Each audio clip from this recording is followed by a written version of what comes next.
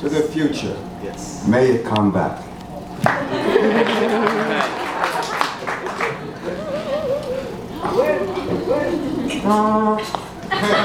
Good evening. My name is Steven Israel, that's my Christian name.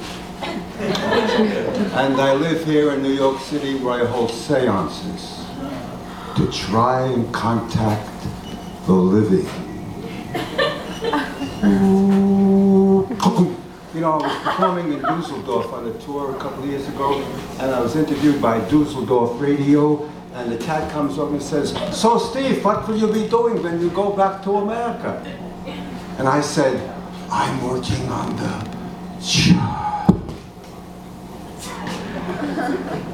He says, what? I said, I'm working on the. Pardon me, Steve, but what is a? I said, in America, we got cult. We need coach.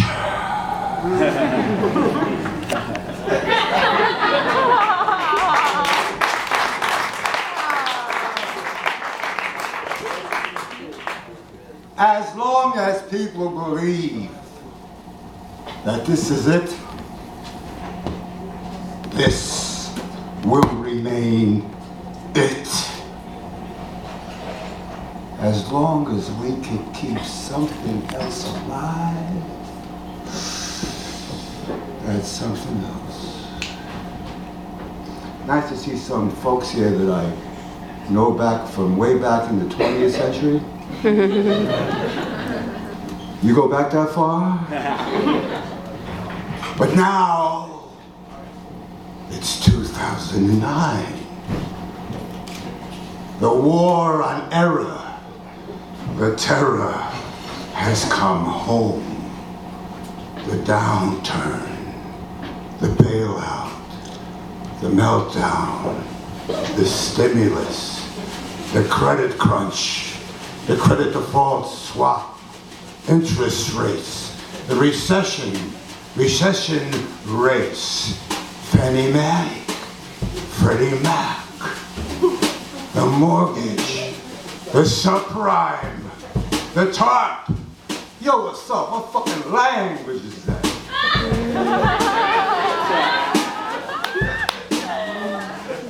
Sounds like a high-budget horror movie. Halloween, Friday the 13th, Mother's Day, Motel Hell, Dressed to Kill, Maniac, Fade to Black, The Shining, The Changeling. Don't answer the phone, he knows you're alone. When a stranger calls, scanners, Blood Beach, Dawn of the Dead, Deadly Blessing, Sleepaway Camp. Sleepaway Camp 2.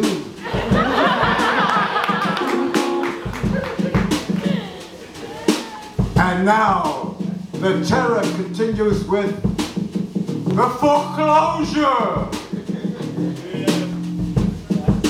The foreclosure. You won't even be able to afford to go see it.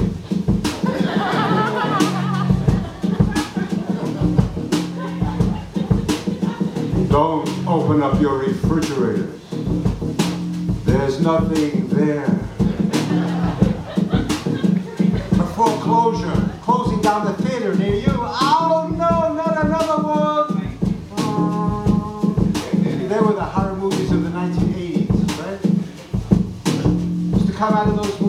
Go, man, the shit they do today?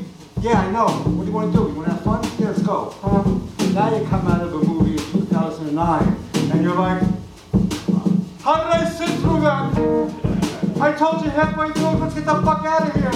I'm not gonna sleep for years. I don't oh, the cinematography. Fuck the cinematography. I want to get the fuck out of here, man. Look, I, I'm, it's gonna take me six months to get over this fucking shit. Oh my fucking god, Okay, okay, okay. What do you want to do now? You want to see it again?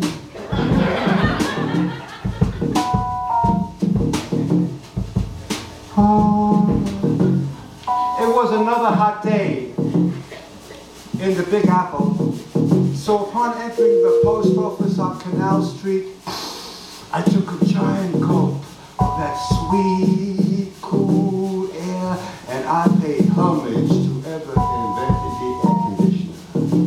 I was greeted by this long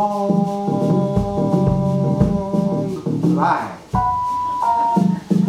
There were seven windows and five closed. And there was one guy at one of these windows, like what seemed forever, and he was getting a lot of heat from everybody else on the line. Eight minutes later, I'm seven out of about 28, and everybody on the line is doing their waiting in line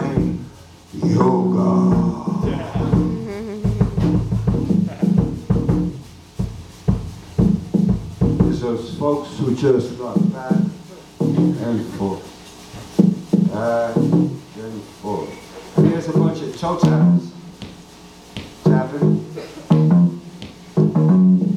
And there's some people sighing, looking up high.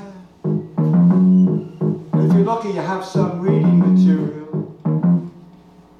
And for me, that group on that line looks like an avant-garde theater company doing their warm-up exercises. now the room was cool and it was getting hot.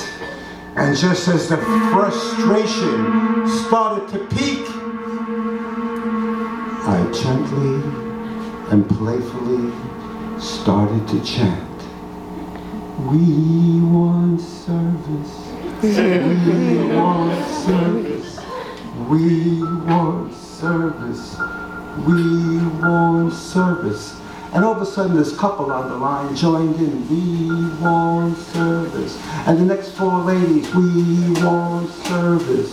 Even somebody who was leaving the post office who had to wait a lot of time last time, they're already finished. They were singing it back. We. And it's good when you have other people singing this tune with you because if you do it alone, they take you away. We want service. And after about 15 seconds of this, the entire post office is chanting, We want service. Even the guy who's buying stamps, he's not even waiting. We want service. We want service. And all of a sudden, these two new windows shot up in sync. And these two new tellers who said, next online. Well, everybody cracked up and gave themselves a round of applause.